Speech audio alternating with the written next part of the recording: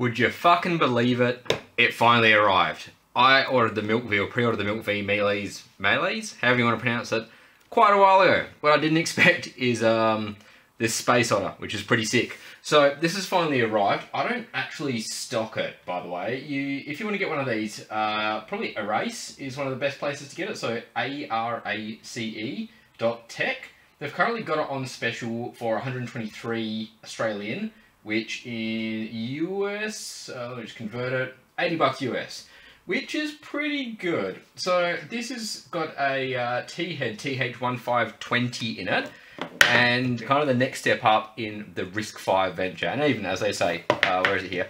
Embarking on the, yeah, embarking on the RISC-V cosmic journey. I mean, hence the, the planet names and the, the space otter and milk, because that makes sense.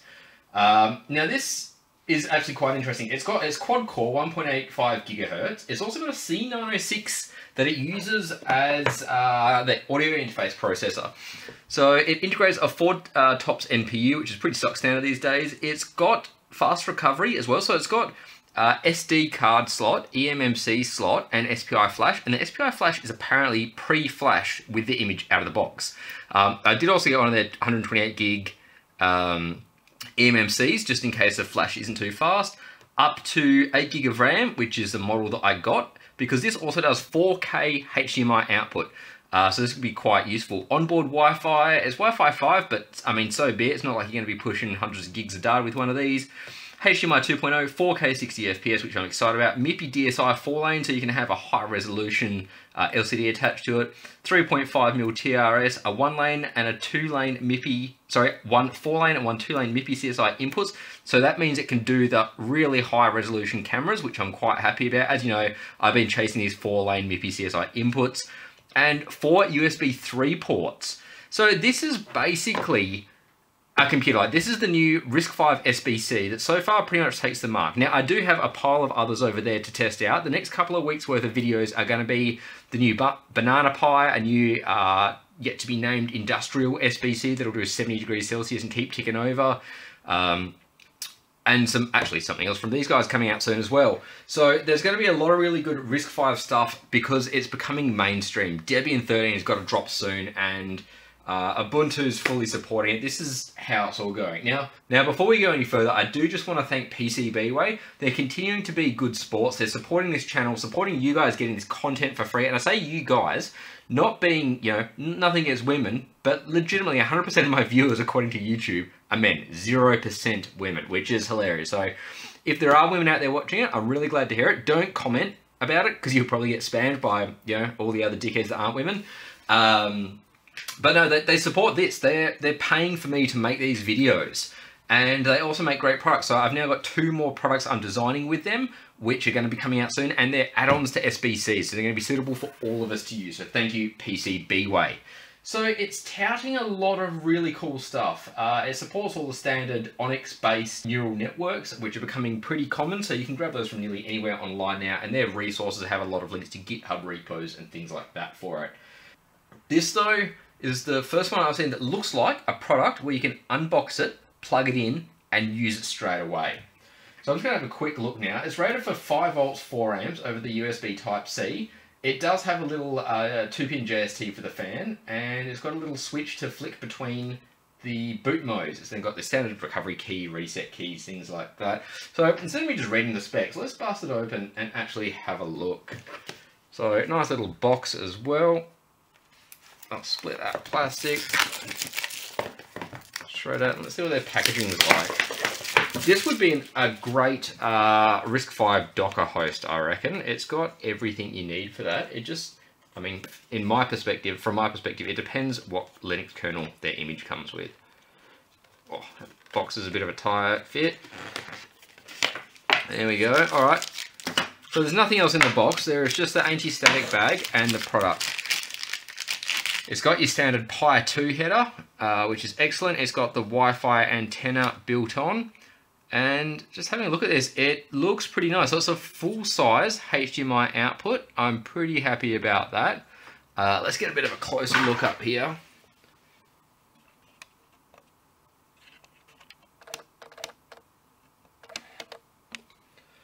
So you can see the SoC, the RAM, um, oh, some of it's right way up, some of it's not. It's a pretty nice looking board. So you've got USB-C power.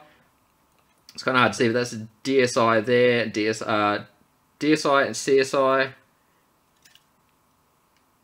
Bit confused, trying to figure out what's where. So that's obviously your eMMC there. You've got your four USB ports, uh, PoE support, that would be. So your Pi 2 header PoE pins for that. That's for your fan. Okay, so that's one of the CSI connectors there. So it doesn't use the normal ones. You're not going to be able to plug any of your existing cameras straight into it. You're going to need a special ribbon cable. So, alright, yeah, I can just see the labels now. That's your DSI. That's your CSI 2, that's your CSI 1. But the full-size HDMI is what I'm going to be using, and I will find some or make some adapter ribbons for this. Uh, now you're going to have your boot selection switch. You've Got a key uh, recovery button there. Is that recovery? Can't quite tell. Alright, let's just plug this in and see what it does out the box. So they say to get your HDMI into it before you apply power and that it's pre-flashed, so it should just boot.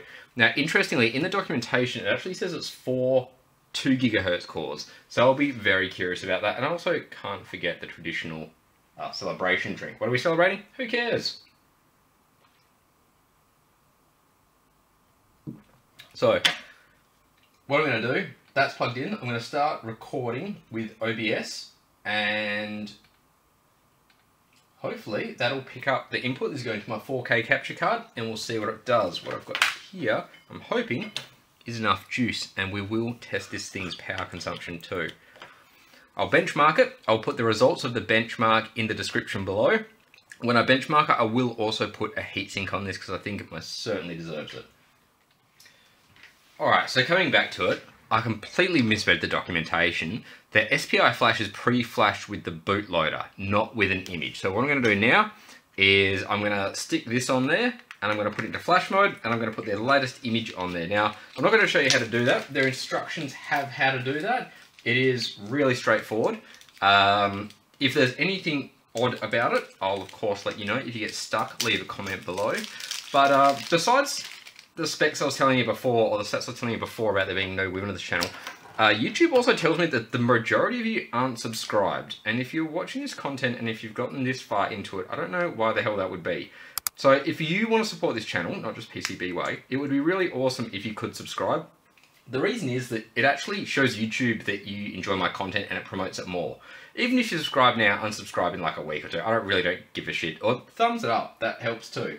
The YouTube algorithm's busted, but that's how it does. So I'm going to flash this now and I'll come back to you all shortly. Hold please.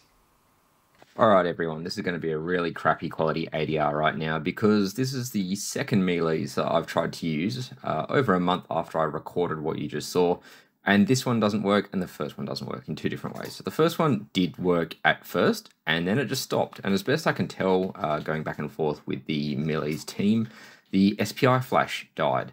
So I could have tried to, you know, desolder it and replace it and get it going again, but I thought it's brand new, it's not worth it at that point. So unfortunately I had to pay 20 bucks to send it to him and I'm waiting to hear back. In the meantime, I finally got the motivation to unbox the second one because I did buy two because the first one, as Alpha Phoenix, or Phoenix Alpha, sorry, always says goes up in flames. Now, the second one appears to be completely dead out of the box. I've spent the last three or so, nearly four hours sitting here playing with it, and I get nothing from it. Um, it times out whether I'm trying to access it over the debug UART output or if I'm trying to access it over the download mode USB-C connection. Um, in either mode, I get nothing on UART and plugging in another device, I immediately get the debug output. So this appears completely dead in the water. Now, to make a few remarks on what I didn't get to test in the end, I'm guessing the GPU drivers don't work, but Wi-Fi does. Um, it is definitely an awesome product. I don't know if they had a bad batch or anything like that. I would be really, really curious to start using it when I get one that works. Um, now, there is a few little things that I did see playing around. Uh, if you look into the extlinux config, there is a timeout there, so you can probably improve the boot speed slightly by removing that.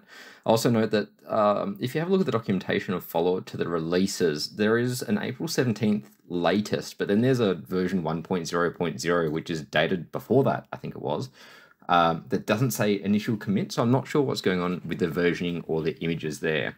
Um, I'm also very not happy that you have to use Linux basically or Unix to uh, flash the eMMC using the Android tools. Now, I've got no issue with the Android tools, but at least if they could release a uh, driver for the USB gadget or fastboot, that would be great. I did try a pile of them, but none of them seemed to work. In hindsight, the ones that I tried could have actually been working, but the unit was dead. I can't really tell anymore. Um, two methods that I did essentially try was uh, one set of drivers that did install but then didn't work, possibly because the board's dead. The other thing though is you can use WSL2, uh, and I'll put a link below to piping through um, USB devices. So you could pipe through the serial connection and the debug connection to WSL2 and do it from there. That I imagine would actually work. So you could work around it that way with Windows. And if I get another device, I might make a video showing just how to use that. My intention was to flash the eMMC because I don't want to deal with an SD card. Um, and then to actually rip a copy of that eMMC that you can just flash yourself using Balena and a cool little tool made by Radxa where you can uh, pop an eMMC module onto a converter that turns into an SD card temporarily. Don't use it like that. But um, yeah. Uh, the last remarks are that I've what I've read and seen, if you do an apt update and upgrade, you do get an improvement on display performance, even if it's not fully hardware accelerated or with full uh, OpenGL ES support by that point. And it also appears that um, there's both their image and then RevyOS. I'm not sure if they are the same or not because there's also this whole ROS car thing that you can do. You'll see that in the documentation. Uh, but yeah, so I didn't get to measure the power consumption, basically nil whilst it's sitting there as a doorknob, and I didn't get to benchmark it because you can't benchmark a doorknob.